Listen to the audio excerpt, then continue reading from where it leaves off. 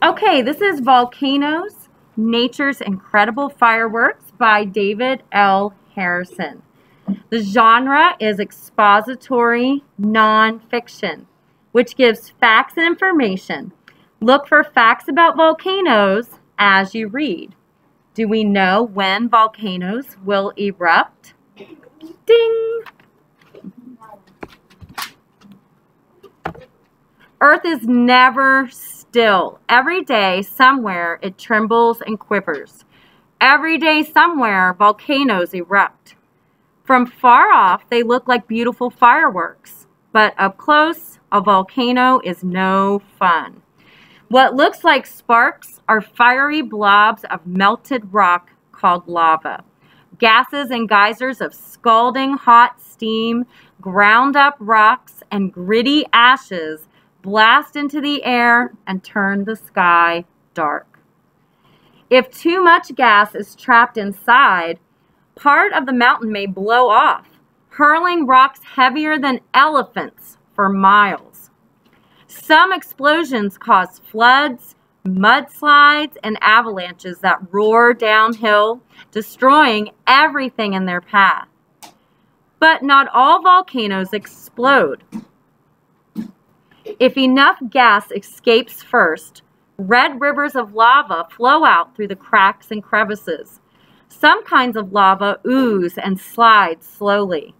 Others stream down the mountain as quickly as cars in city traffic. Okay, let's turn the page. We're on page 388, 388.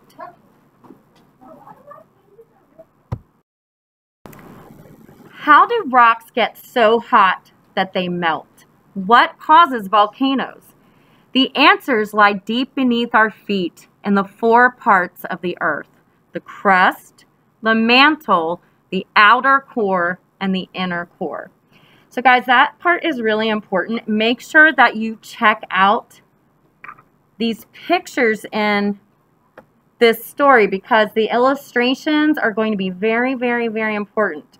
An author does not put these things in the book unless they think it's important. So make sure you check that part out, okay? The crust where we live is covered by land and oceans. In places under the seas, the crust is only three miles deep. It may be 43 miles thick beneath the mountains. Below the crust, the mantle stretches down 1,800 miles. Rocks there melt to a gooey paste or tar called magma. So I want you to know that the important thing to know about magma and lava, they are kind of the same thing, but we call it magma when it's inside a volcano. And it's lava once it comes out of the volcano. Okay? Okay, we're over on page 389. The core is a huge ball more than 2,100 miles to its center. It is mostly iron, so hot that the outer core is liquid, but the inner core is solid. Pressure there is so great it keeps the iron from melting. So it's hot enough to melt iron, but because of the immense pressure pushing in, it keeps it from melting. The crust this is really important to pay attention to. This is really important for your test, so pay attention to this part. The crust is not one piece like a coconut shell. It is several large pieces called plates that cover the planet like a giant jigsaw puzzle. The plates rest on the mantle below. They are moving, but they move slowly. Some take years to creep inches. And if you look at that picture down there at the bottom there on page 389, it's kind of showing you the different plates. And if you guys look up at my screen, you can kind of see where I'm pointing. These are the plates. And do you see how it kind of fits together like a jigsaw puzzle? Okay, let's turn the page to 390.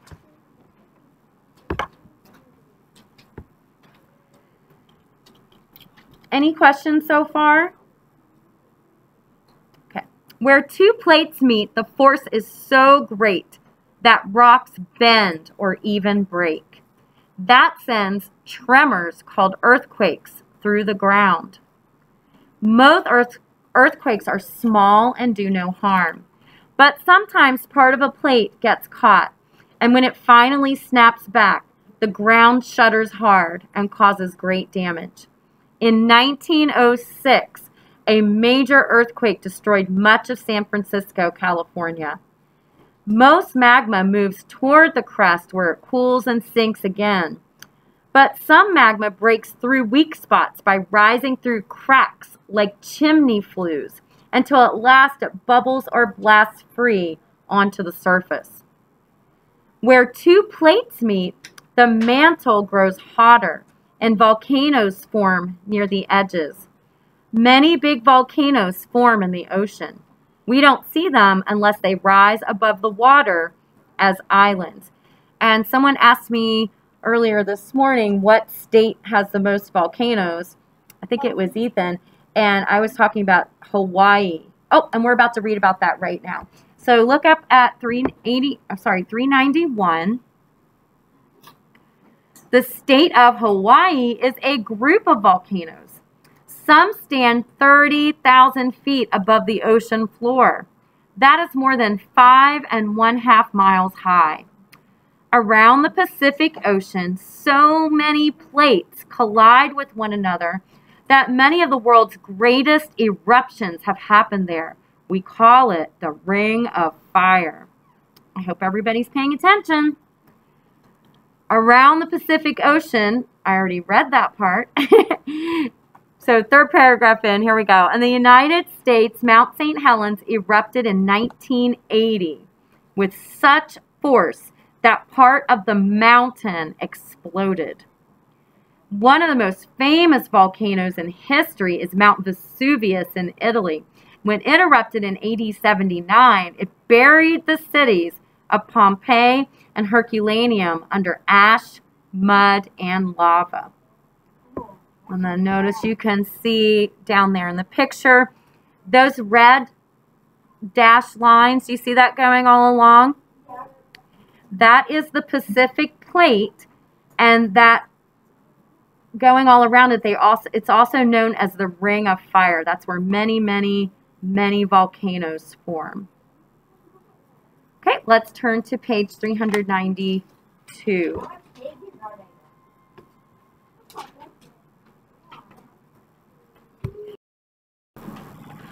Okay, so over thousands of years, a volcano may erupt again and again. Between eruptions, it may sleep in silence for long periods. After each eruption, lava cools into rock and ash settles to the ground. Layers of lava and ash slowly build a volcano until it becomes a tall mountain. As new magma pushes against the surface, rocks move and the ground shakes. These earthquakes help us know the volcano may be getting ready to erupt. And then if you see in our picture here, so remember if it's under or inside the volcano, it's called magma. And so as it explodes out and it's on top of the volcano there, that would be considered lava, okay?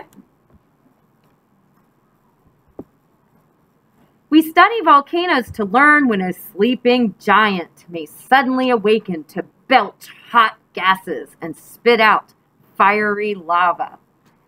So what is this author comparing a volcano to right now? Are you going to answer my question? I have a question. That's what is the author comparing a volcano to right there, Anthony? Yeah, a big monster, and it's saying that it's burping hot gases and spitting out lava like a monster would do. Ethan, what's your question? On 392, so so the part that hasn't erupted yet is the magma, and then the part that's erupting now is lava. Well, that hot melted rock when it's inside the volcano it's magma and once it comes out of the volcano they call it lava Okay. okay so we're on the second paragraph here on 393 we still can't predict when the next volcano will blow its top or split its sides, but three things we know for sure. Volcanoes are beautiful. Is that a fact or an opinion, Riley opinion? Yeah, that would be an opinion, right? Some people might think they're only scary and not beautiful at all, right? They are dangerous. Is that a fact or an opinion? Anthony. That's a fact because it can be proven, right? Right? We can prove that volcanoes are dangerous. And they are nature's incredible fireworks. Mm, that is the author comparing the volcano to fireworks, just like the author compared the volcano to a giant. So I'm not sure we could consider that a fact. I would say that's more of an opinion. So remember, the difference between a fact and an opinion is an opinion is a feeling that you have about something, and a fact is something that you can check it, research it, and see if it's true. Okay? And that is the end of volcanoes.